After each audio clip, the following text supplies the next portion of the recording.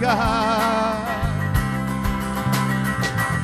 All powerful, untamable, awestruck, we fall to our knees as you humbly proclaim, You are amazing, God.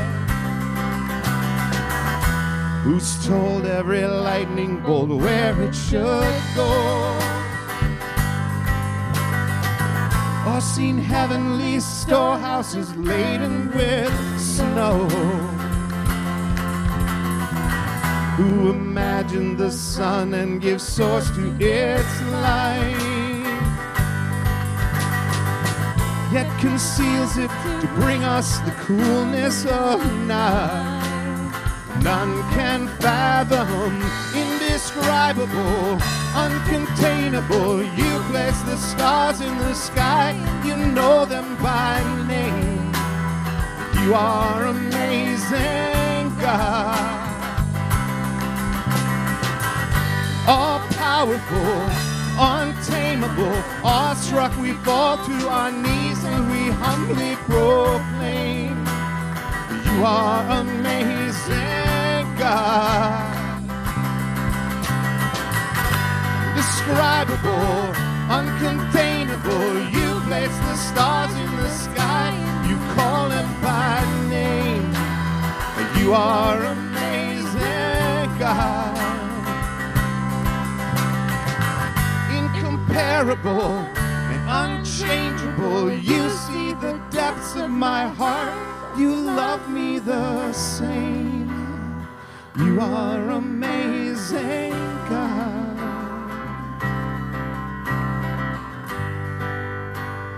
You are amazing, God.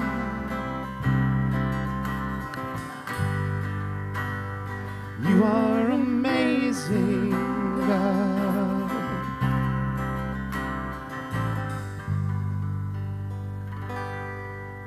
Let's greet each other in the name of this amazing God, Jesus.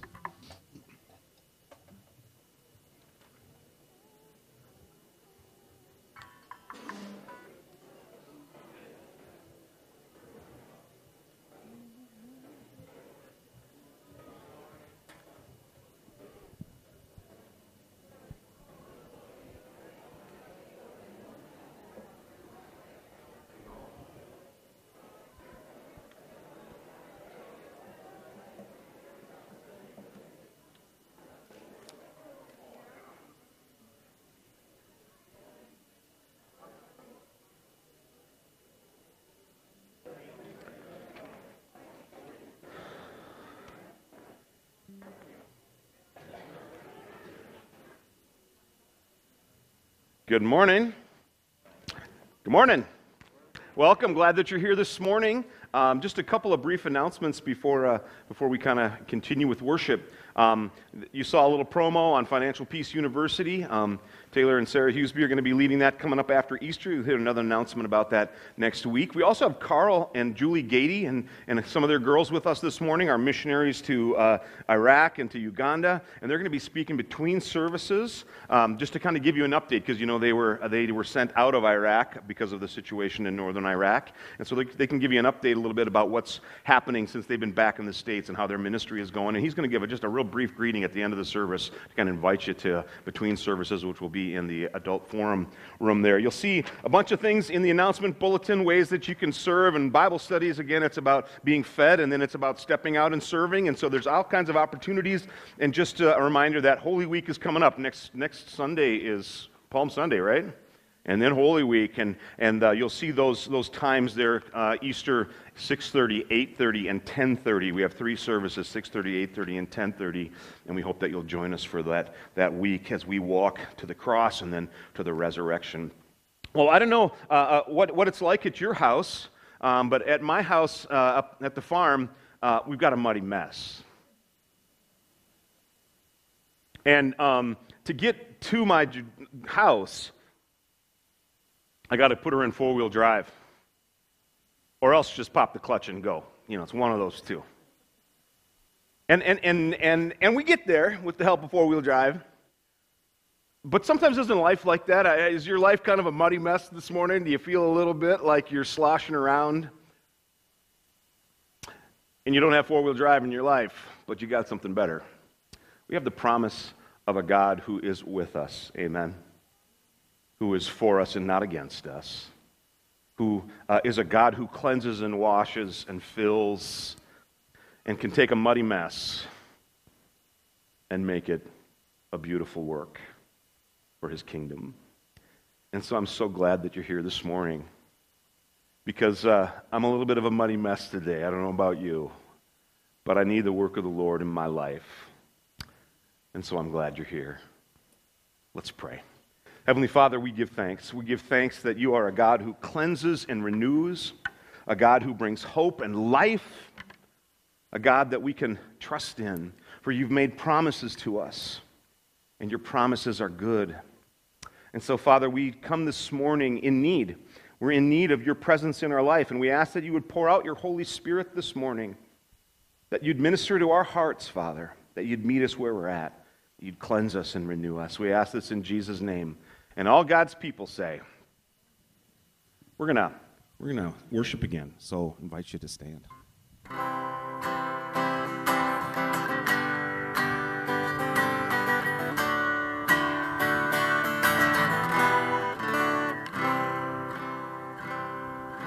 Lord, we're humbled in your sight. Shining from above, how we need your light. Guide us in your grace, guide us home. Lord, be all that we can see. We ask for you to come. We are on our knees. Save us by your grace. Lead us home. Spirit, fall. Hear the voices of your children call out to you. We bow down heal the broken heart, have mercy on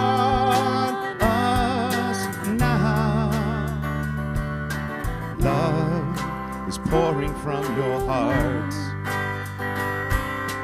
Hope is in your hands, life is in your arms.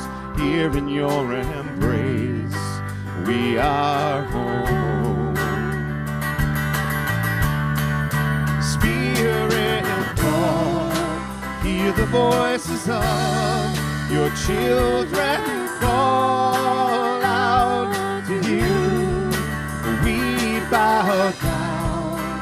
heal the broken heart, have mercy on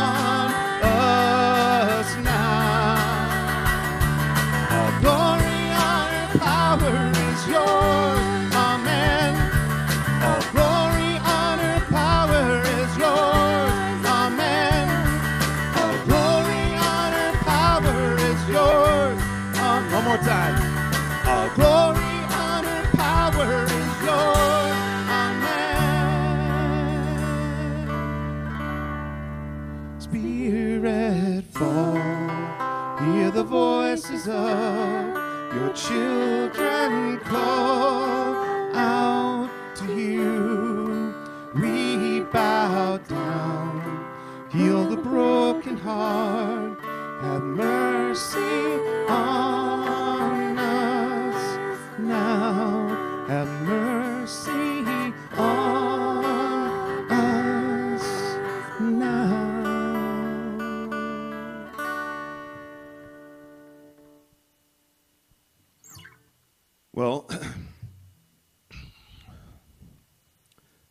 big dog likes to roll in the mud. In fact, if he can find manure, that's where he wants to be. He loves to roll in manure. And the only way that he can ever come in is I've got to wash him up. So he doesn't come in very often because as soon as I wash him up, he's gone. I don't know about you, but um, if it weren't for, uh, for the reality of a Savior who washes, I'd be in real trouble. We all would be. because we get ourselves so filthy sometimes. The world is just, it's a broken place and we're a broken people. Amen? My, my default is to brokenness. Scripture says that we were born sinful. And so we need this cleansing. And we have a God who comes and gathers us up and, and, and says, I'm going to wash you because I want you in with me. I want you where I am, he says in John chapter 14. And the only way that's going to happen is by washing. So he does it. He says, Come to me, bring your stuff. Bring all the muck and the mud that you got. And I've got the water of life. So let's invite you just to take a moment of silence and just kind of bring your, your, your muck to the Lord and just lay it at his feet and then hear the words of promise.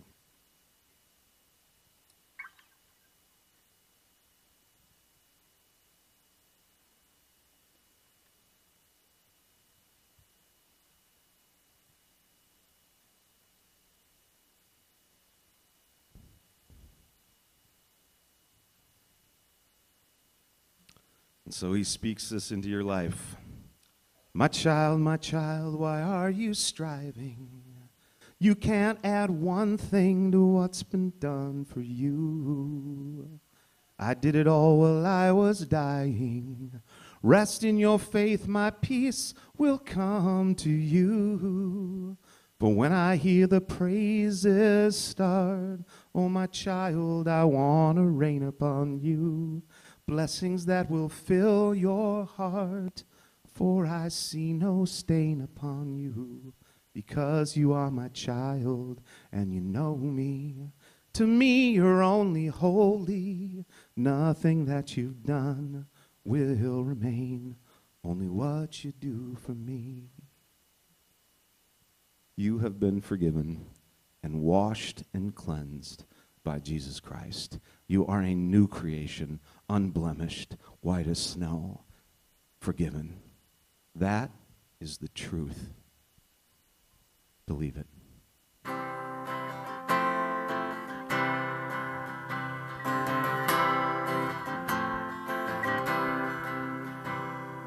Wonderful, merciful Savior, precious Redeemer and friend. Who would have thought that a would rescue the soul of man? Oh, you rescue the souls of men. Counselor, comforter, keeper, spirit we long to embrace You offer hope when our hearts have hopelessly lost the way. Oh, we've hopelessly lost the way. You are the one that we praise. You are the one we adore. You give the healing and grace our hearts always always hunger for. Oh, our hearts always hunger for. Almighty infinite Father, faithfully loving your own. Here in our weakness you find us, falling before your throne. Oh, we're falling before your throne. You are the one that we praise.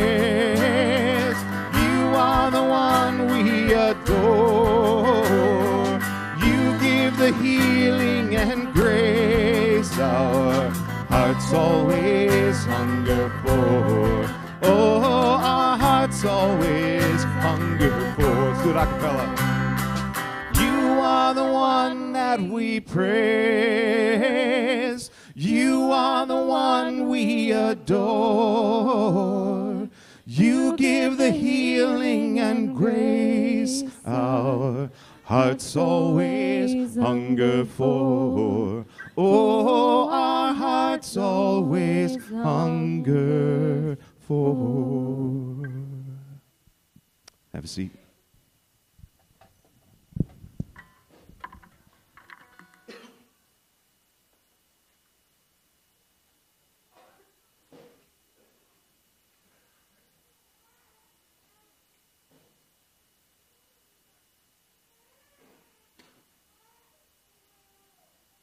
Your Bibles to 1 Corinthians chapter 1. 1 Corinthians 1, starting at verse 18. If you'd like a Bible to follow along, you can just raise your hand and an usher will see it from the back and bring you one to follow along if you'd like.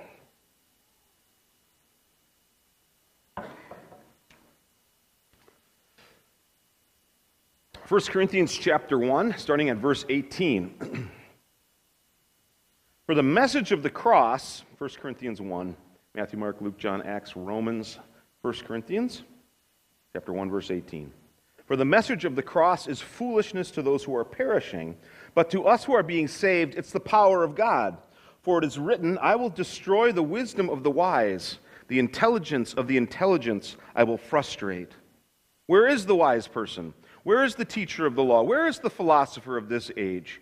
Has not God made foolish the wisdom of the world? For since in the wisdom of God, the world through its wisdom did not know God, God was pleased through the foolishness of what was preached to save those who believe.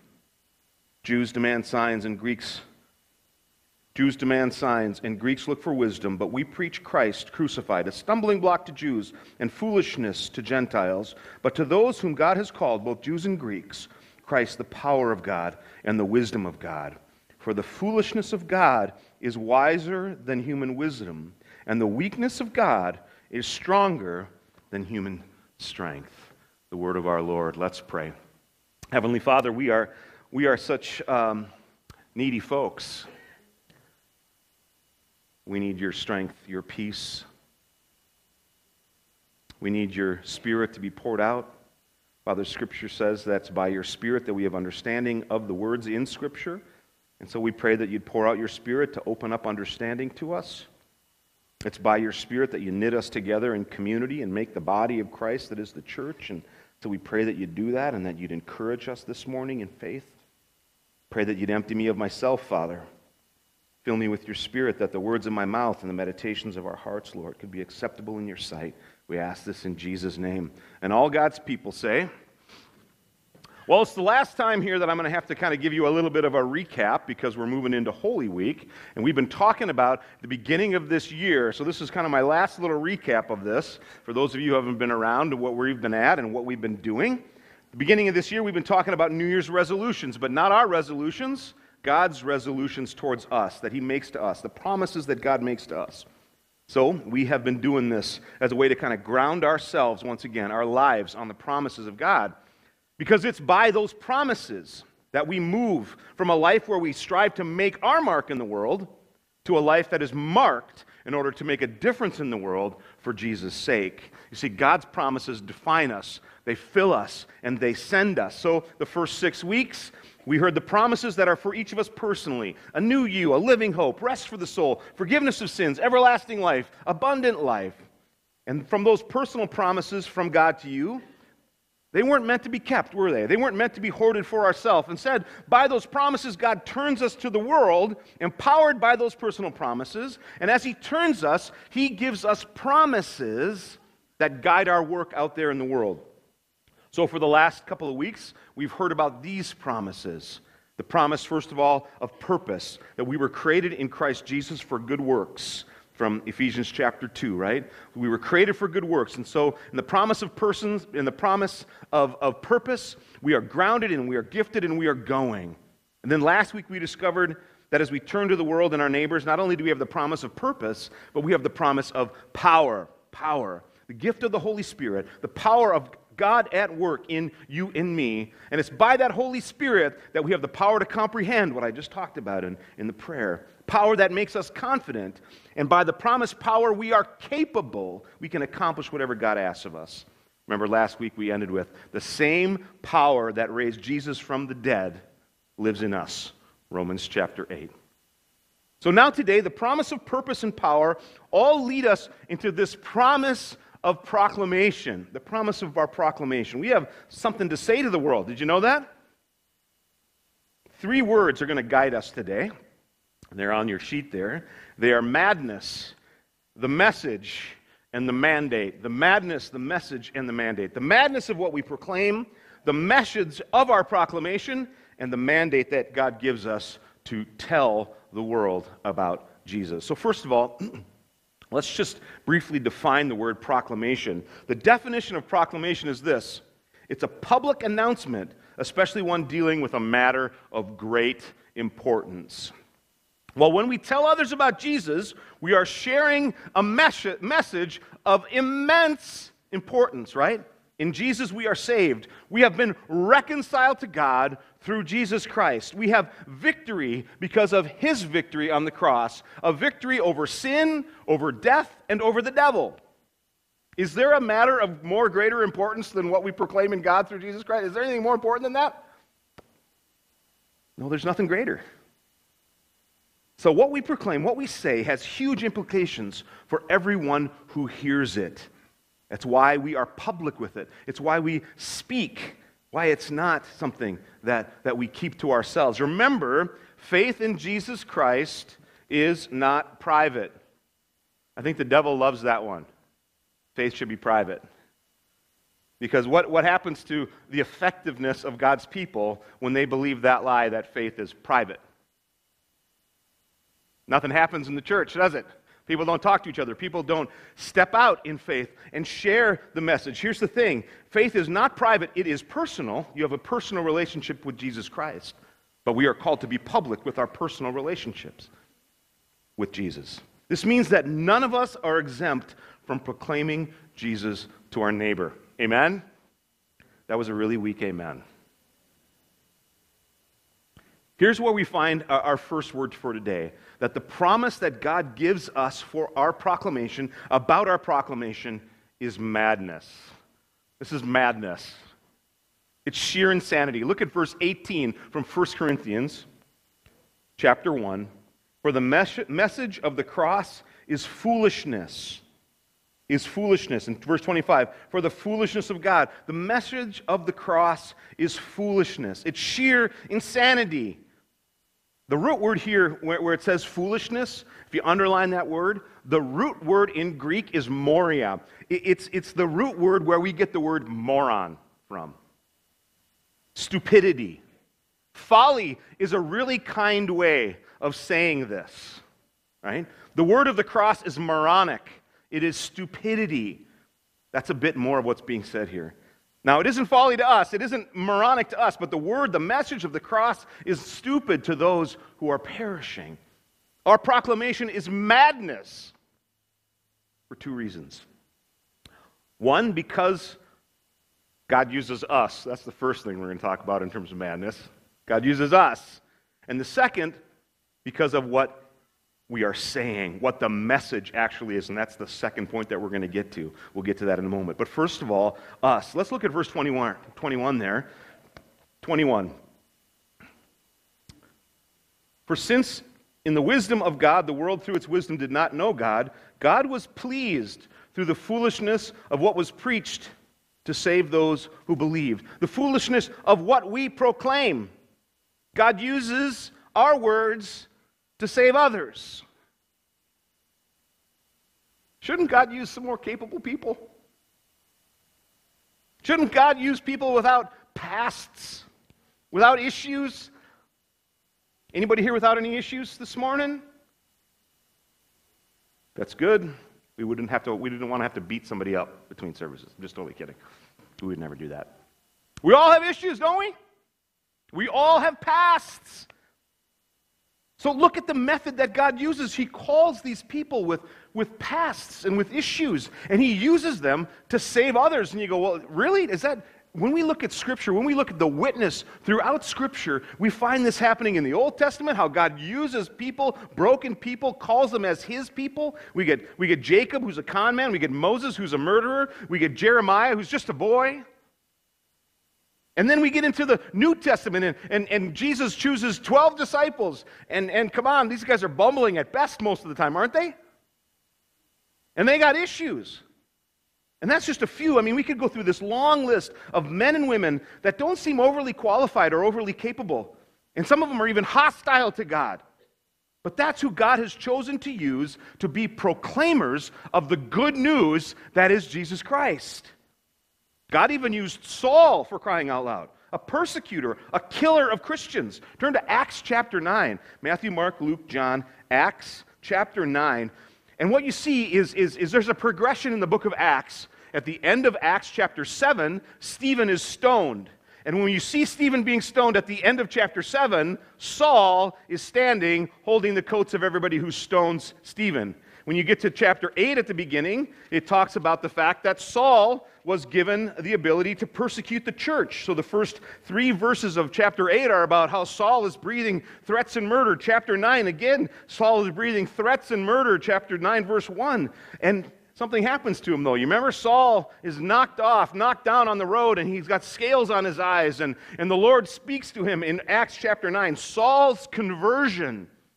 And he becomes Paul, the Apostle Paul, who wrote much of the New Testament, many letters, but he was a Christian persecutor and killer. Look at verse 13.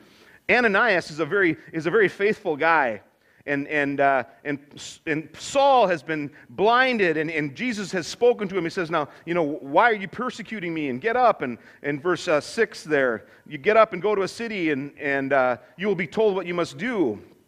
And then, then, then the Lord appears to Ananias in a dream.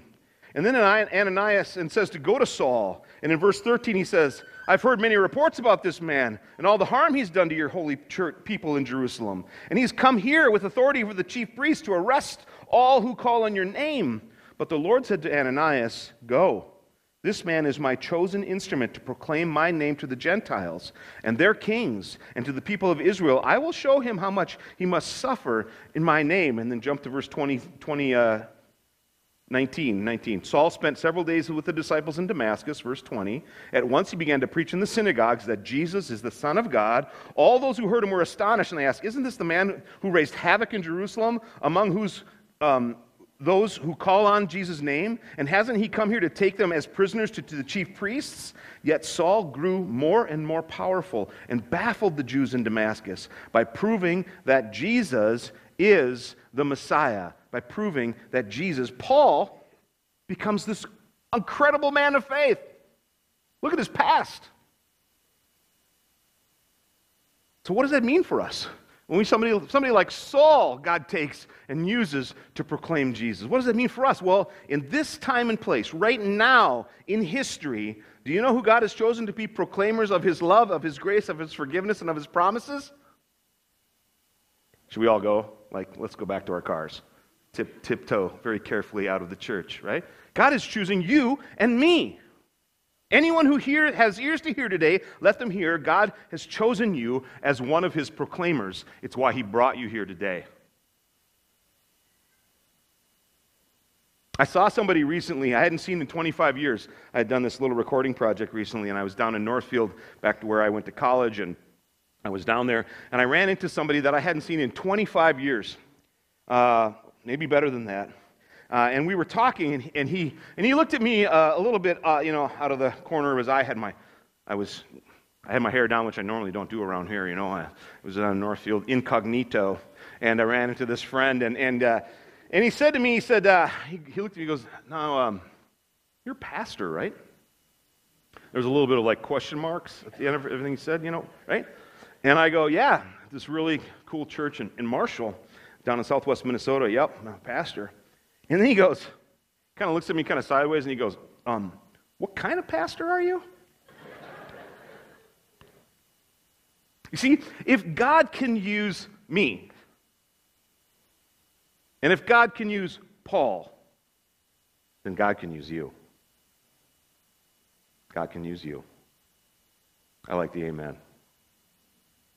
The first part of the madness of how God chooses to proclaim this good news that is in Jesus Christ for the world is that He chooses to do it through you and me. It's, it's madness. The second part of the madness is the message itself. the message itself. That's the second word today, the message of our proclamation. Look at verse 18. The message of the cross is foolishness. The message of the cross is foolishness to those who are perishing. It's foolishness. And what is that crazy message that we are given? Let's turn to Romans chapter 5. Matthew, Mark, Luke, John, Acts, Romans. Acts, Romans chapter 5.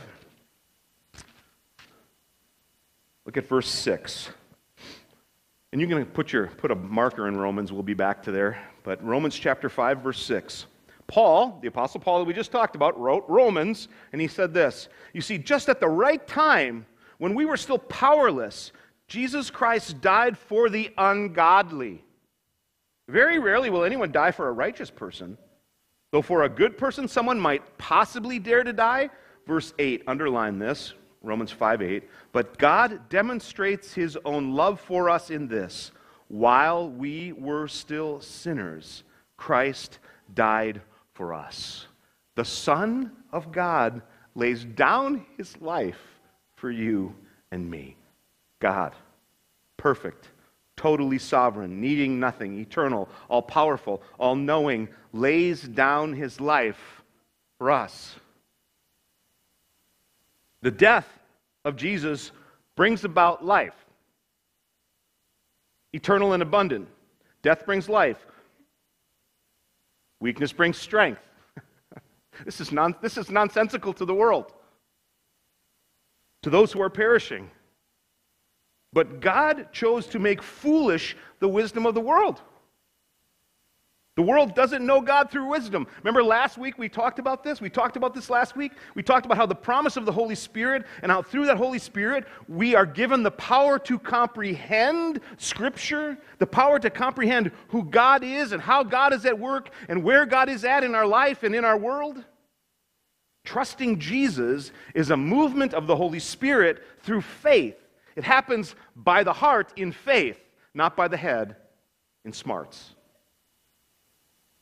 So, not only is this message crazy, God dying for me so that I might live, God also makes it ridiculously simple for us to be saved and to save others.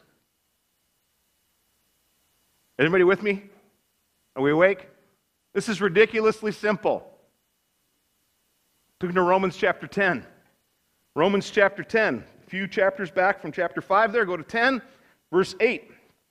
Romans 10 8 chapter 10, verse 8. But what does it say?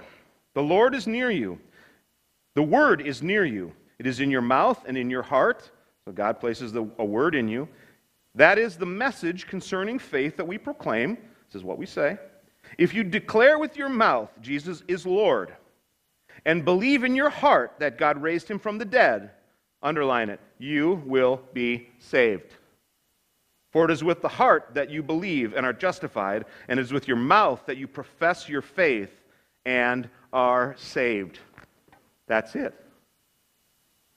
Are you kidding me? Don't we try to make that so much more complicated than it is? Don't we make following, trusting in the Lord, being a Christian, you know, loving God, we, we, don't we just, uh, come on, anybody else overcomplicate this thing? And so sometimes we need to just get down to brass tacks. What is it that makes you a Christian? Believing and confessing. That's where it starts. That's where it starts. For God so loved the world that he gave his only son so that whoever believes in him might not perish but have eternal life. It's John 3:16. Confess that it's true with your lips. I believe that you died for me and that my sins have been forgiven because of Jesus' blood. And believe it, not because you can prove it or because you can know it with your head, but because it is said, it is promised, and we can believe it with our heart. Because it's promised. You see, we don't believe in a feeling. We don't believe in an intellectual kind of layout, rational argument. We believe in a promise. Amen? That's a much different affair. And we're bad at believing in promises because we break promises and promises get broken to us. But this is a God who doesn't break promises. Amen? This is, a not, this is not a promise, promise breaker, but a promise maker and one who fulfills all promises. If you don't know if you're saved, I invite you to talk to me after the service or call me this week. We'll pray together and we'll talk about what this new life in Christ looks like. But it is madness, this message. Through it, the wisdom of the world is brought down and made nothing. Look at 1 Corinthians chapter 1, 20. The end of chapter 1, at, at, at chapter 1, verse 20, the end of verse 20, kind of the second half of verse 20. Has not God made foolish the wisdom of the world? 1 Corinthians 1 20 and 21. For since the, in the wisdom of God, the world through its wisdom did not know God, God was pleased through the foolishness, the moronic, the stupidity of what was preached, of what we preached, to save those who believe. Jesus died for you. He loves you. Now, here's the mandate. Here comes the mandate. See, we believe in the madness of the message. Now we're called to step out and speak. This is the mandate. God says, Speak up. Look at Romans chapter 10 again. Romans 10, verse 13. Romans 10, 13. Everyone who calls on the name of the Lord will be saved. How then can they call on one that they have not believed in? This is verse 14, 10 14. How can they believe in the one in whom they have not yet heard? And how can they hear without somebody preaching it to them? And how can anyone preach unless they're sent? As it's written, How beautiful are the feet of those who bring good news. We have a mandate from God to proclaim. How are they going to know unless we go? Unless we speak, unless we tell them. God says, Bring the good news to the world. We can find it throughout Scripture. You can go to Matthew chapter 28 and read this when you get home. Matthew 28, 16 to 20. It's called the Great Commission. Jesus says basically, Go and tell others. It never says in scriptures that you need to understand every theological issue before you open up your mouth. Or explain theologically how God accomplishes salvation. That is not what God is asking you to do. It just says go and tell them what God has done for you. And let them know that God can, what God can do for them. Share with others the good news. The good news is Jesus. Pastor Dave, that's not my gift. That's not my gift. I, am just going to serve. Yep, I, I, get that. I understand that. Some of us have spiritual gifts of service. That's kind of our primary way. And we can, we can share God's love through deeds as well, for sure. We can, we can serve others in love and reflect God's love to others. That's one way that God works and speaks through us. But here's the thing I know we get intimidated, right, by praying or inviting or telling or speaking in the name of Jesus. I get that. But I also think that sometimes we use that as an excuse not to talk or tell others. And we have to be real honest. Sometimes we just got to get clean with ourselves where, um, where we go, uh, I use that in a way that's not helpful, Lord. And I know that you're calling me to speak as well. You're calling me to step out. We all, every one of us, must understand that our message is urgent and that others need to hear what God has given us to say. Remember what I said earlier? God's chosen you and I to save others through this foolish message, but we have to say it. We have to speak the name of Jesus. We have a name above every name. The name of Jesus. Every knee will bow, every tongue confess. I mean, we have a name of power. We have a message of salvation. And we got people who are lost.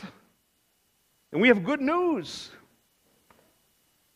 Have you ever been talking with somebody who's really going through it or worried or lost, and in your heart you just keep feeling a nudge, you keep feeling a little bit of a poke, and you have this sense that you should say something, that you should tell them about your hope, or that you should maybe pray for them, or tell them you'll pray for them, or that you should remind them of God's love for them, or that maybe you should invite them into a fellowship or a Bible study or to church? Well, that's the Holy Spirit. That's the Holy Spirit. And God is saying, tell them, tell us that it's, that it's going to save them. That proclaiming Jesus does something in their hearts and in their minds.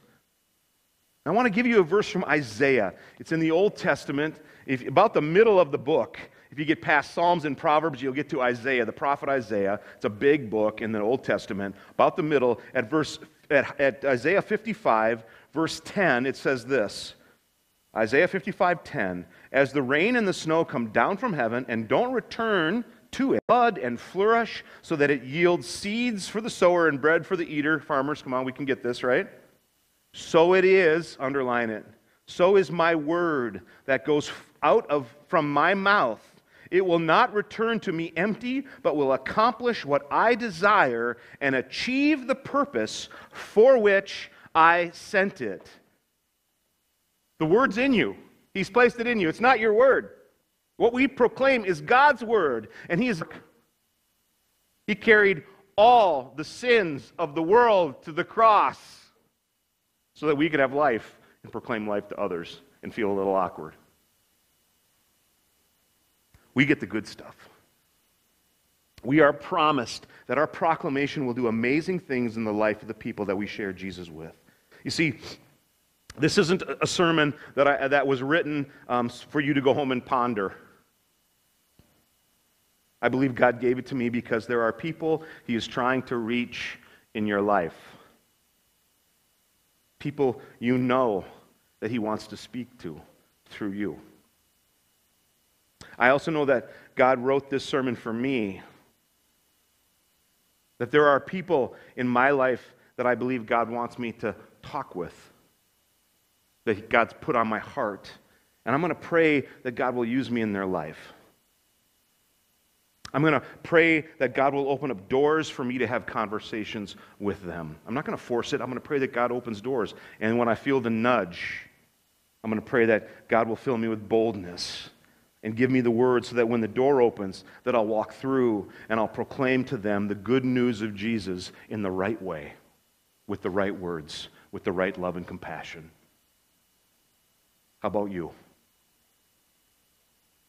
Could it be that this sermon was written by God for you because there is someone that God is trying to reach and he needs your voice, your story to reach them with his message of love and salvation? Wouldn't that be insane? Almost moronic? If God used you and me to save people with such a simple message? It's madness. But we have a message and we have a mandate. So, will you join me? Will you join me in telling the lost and the broken and the defeated and the doubted and the dying about Jesus? So I believe in God's promises. Every one of them. All of God's promises are yes in Jesus. 2 Corinthians 1, chapter 1, verse 20. I believe all the promises that we've been going through this past month and a half are true. I believe them all, totally and completely, every single one that God promises. Even this, to use our proclamation to save others. And it's urgent. So let's go. Heavenly Father, we give thanks. We give thanks that this isn't our work, it's your work. We give thanks that it isn't our word, it's your word that you've given to us, Jesus Christ, and words that you place on our hearts, and compassion that you give us for others. These are the things that you do in our life. You simply say, when you feel it, when I'm giving it to you, step out and speak. And so, Father, give us opportunities this week. Open up possibilities for us to, to reflect your love and grace and to say the name of Jesus into somebody else's life.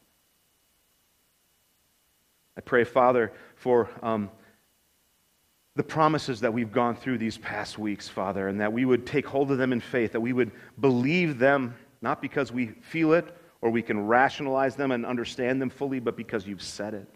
You've promised it and all your promises are yes. And so, in faith, Lord, give us faith to believe and to receive all your promises, Father, and send us into the world, Lord.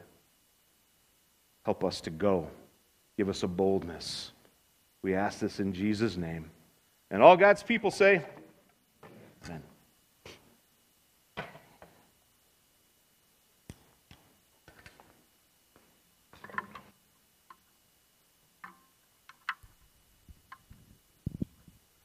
continue to worship God using our tithes and our offerings. Um, if you're a visitor or a guest here, I just want to speak to you briefly. I want to thank you for coming. If you're a guest or visitor, checking out the church, maybe here with family, or, or maybe here to driving by, or maybe here because you're looking for a church home. If you are looking for a church home in, uh, in the area here, we'd invite you to consider um, joining us um, to proclaim the salvation through Jesus Christ to the world.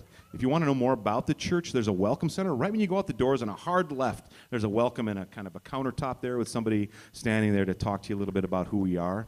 There's a lot of good churches in this area. We're not the only gig in town. But if God is calling you, we'd invite you to come join us. Here's the thing if you're a guest or a visitor this morning, I want you to know as we receive this morning's offering, your presence here is offering enough. Thank you so much for coming. We pray that you're blessed. For those of us where this is our worshiping community, this is a time when we worship God with our tithes and our offerings. And we're going to sing an old hymn, Precious Lord.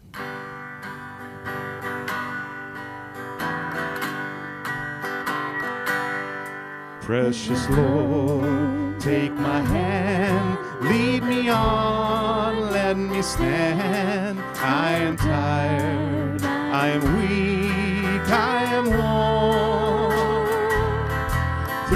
storm, through the night, lead me on to the light. Take my hand, precious Lord, lead me home. When my way grows drear, precious Lord, linger near. When my life is almost gone, cry, hear my call, hold my hand, lest I fall. Take my hand, precious Lord, lead me home. When the darkness appears, precious Lord, night draws near, and the day is past and gone. At the stand, guide my feet, hold my hand, take my hand, precious Lord, lead me home. First verse. Precious Lord, take my hand, lead me on, help me stand. I am tired, I'm weak, I am worn. Through the storm,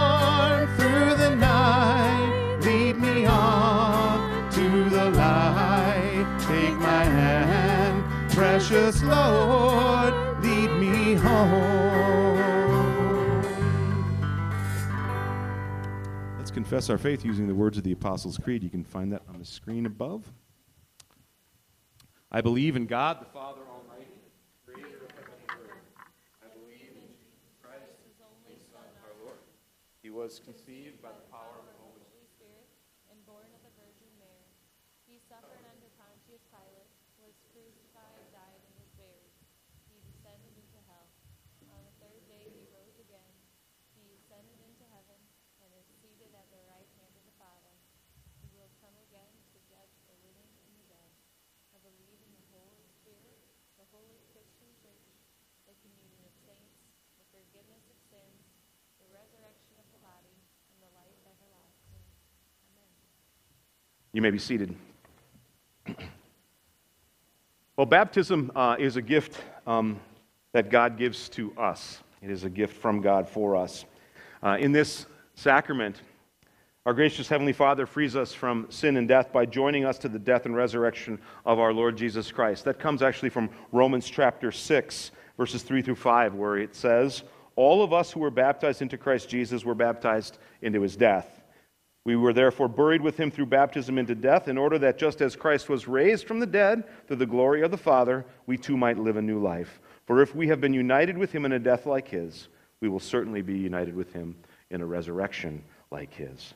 And so it's through this gift of baptism that our Heavenly Father gives us that we are born children of, of God. The, the sin, the removal of sin, the, the possibility for relationship occurs.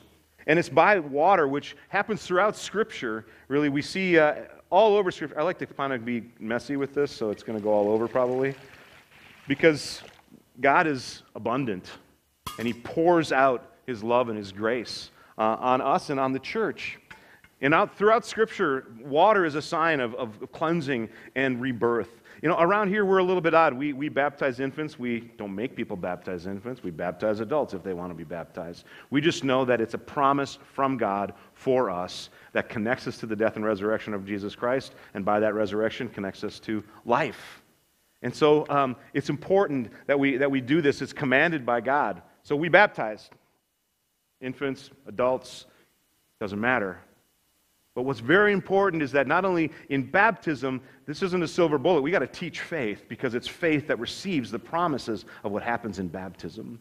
And so, with that in mind, I'm going to talk to the sponsors first, Taylor and Sarah, and uh, Chelsea and Eric. Do you intend to sponsor Riker in his baptism and as he grows into his adult life and his faith? If so, respond, we do. I'm going to charge you then. I, I mentioned it earlier. I said um, the way I kind of, uh, kind of sum up um, sponsoring or being a godparent is just to say, if you're not praying, I don't know who is, right?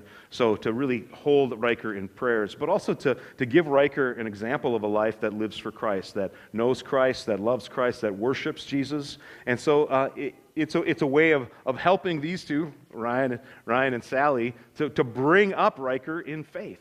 And so that's part of your role. It's, it's no small responsibility. And so thank you for agreeing to do it. And Ryan and Sally, do you desire for Riker to be baptized into the Christian faith today? If so, respond, we do. I'm going to charge you then as parents, right, to, uh, to faithfully teach Riker the Ten Commandments, the Creed, um, the Lord's Prayer, bring to church, put scripture in his hand. These are just ways of kind of surrounding him in faith. Because, like I said, baptism is a gift from God. It's something God does in our life, but it's our faith, trusting that, that receives what God is up to here, that claims the work that God is doing today. And so it's so important as, as parents and as sponsors that we, that we do that work to, to bring him around faithful people that he can lead a godly life until the day of Jesus Christ. Riker, receive the cross on your head, on your heart the sign of the Lord. Be strengthened in faith, be patient in suffering, and that through faith you might live in Jesus and with Jesus all the days of your life. Amen. Come and be baptized. Riker, Ryan Ganifke, I baptize you in the name of the Father, and of the Son, and of the Holy Spirit. You've been marked with the cross of Christ and sealed with the Holy Spirit forever.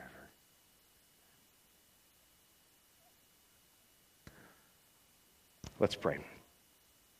God, the Father of our Lord Jesus Christ, we give you thanks that through the death and resurrection of Jesus and by faith, you free us from the power of sin and raise us up to new life.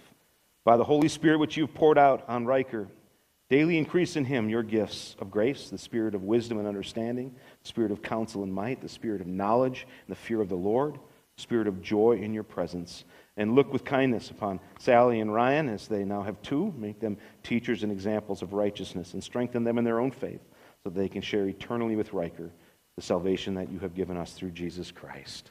And all God's people say together, Amen. Well, we uh, light a candle. This can be used as a as uh, on the anniversary of Riker's baptism. I'm going to give you that. Can hand that. Um, and as part of even as part of sponsors and as parents, one of the one of the things that, that that our role is, and as the church, is to is to remind Riker and to speak into Riker's life over and over, to let Riker let your light so shine before others that they can see your good works and give glory to your Father in heaven. And so that candle is a kind of a, a way to think about that and remember that it's also something you can use to kind of celebrate this day of baptism throughout his life and to encourage him in faith uh, the day of confirmation, just any kind of special occasion in his life to, to light that candle and to remember it.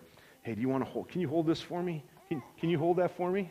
That's, that's the, thank you. That's awesome. No, I'm not going to do that. It's all right. I'm going to take Riker. And Sally said that he's, he's, he can get real upset. And we weren't sure this was going to work. But he is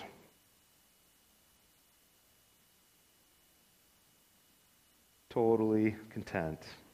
And we walk him into the congregation as a way of saying, like I said, baptism is a wonderful gift from God, but if we don't receive it in faith, And so we have a responsibility.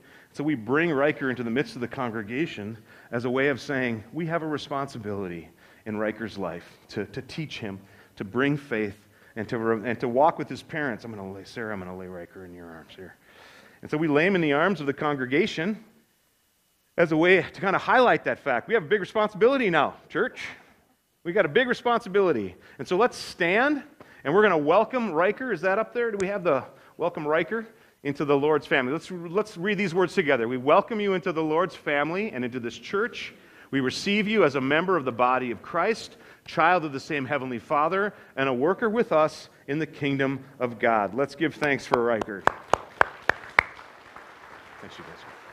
You can get them. Blow that out.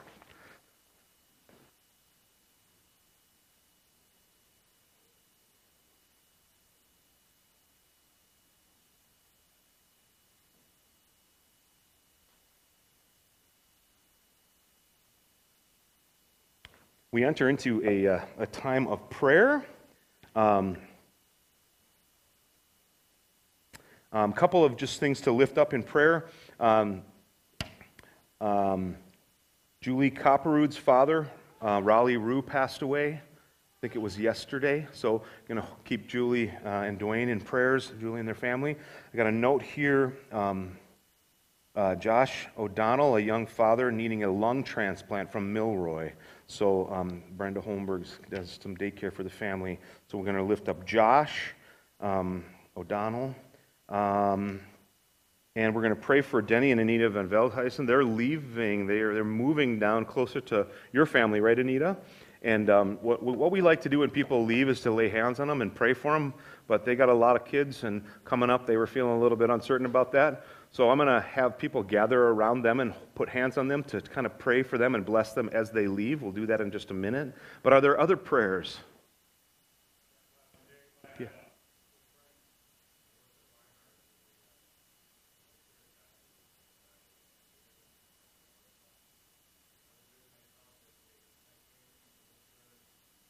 Awesome, awesome, awesome, awesome. Name? You want me to lift up? Do you want me to lift up his name in prayer? Carrie? Terry. We'll give, yep, we'll give thanks for his healing and continued healing. Other? Yeah. What's that, Julissa? Say it again. Awesome. So you've got a new new pet at home. We're going to give thanks for uh, dogs are an awesome gift from God, aren't they, Julissa? So that's great.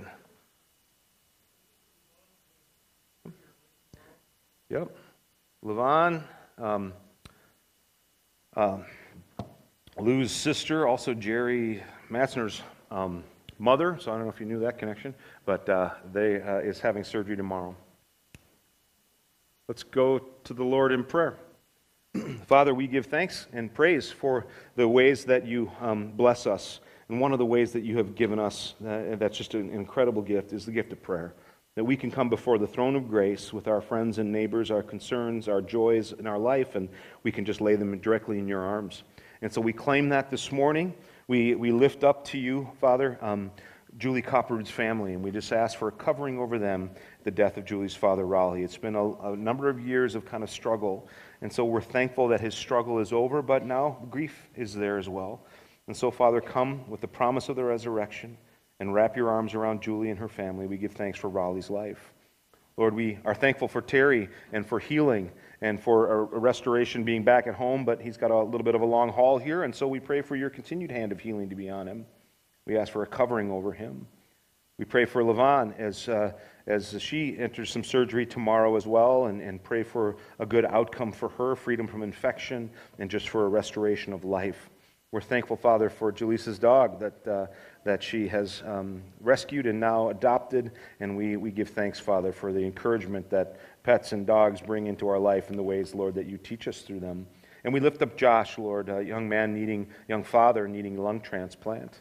Father, we pray that you would go before him each step of the way, Lord, that you'd lead each step, that you would surround him, Father, and his family, give them hope and strength and peace in Jesus Christ. We know that you're the great physician and the healer, and so we lay him in your arms. We ask all this in Jesus' name. And all God's people say, Can I get a couple of people back there around Anita and Denny and their family right back there? And they're right in front of, yep, there you go couple of leaders to lay hands on them. And then can we just turn and what we like to do as a congregation is just kind of lift up our hands towards them so we can bless them as they as they move. They just adopted three kids and they've got three kids and they're moving closer to home.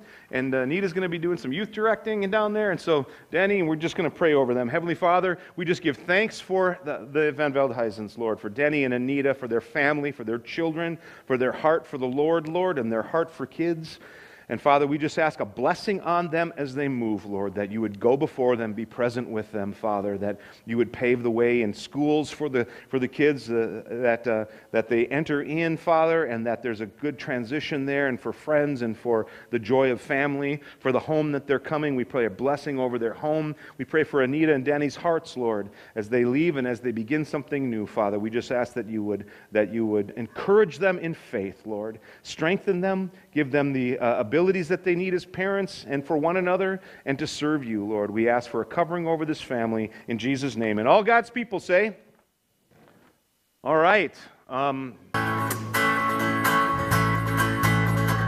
Here I am before you, falling in love and seeking you true, knowing that your perfect grace has brought me to this place. Because of you, I freely live. My life to you, oh God, I give. So I stand before you, God, and I lift my voice because you set me free. So I shout out your name from the rooftops, I proclaim that I am yours. I am yours. Good you've done for me, I lift up my hands for all to see. You're the only one who brings me to my knees. Share this love across the earth, the beauty of your holy word. So I kneel before you, God, and I lift my hands cause you set me free. So I shout out your name from the rooftops. I proclaim I am yours. I am yours. And all that I am, I place into your loving hands. I am yours. I am yours.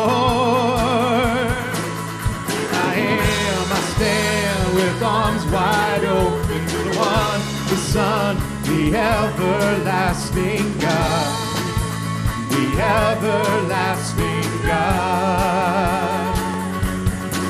Here I am, I stand with arms wide open to the one, the Son, the everlasting God, the everlasting God. So I shout out your name from the rooftops. I proclaim, I am yours.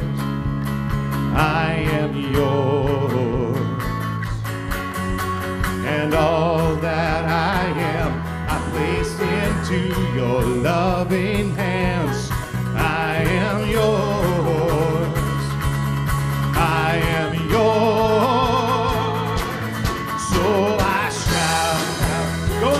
serve the Lord. Have an awesome day.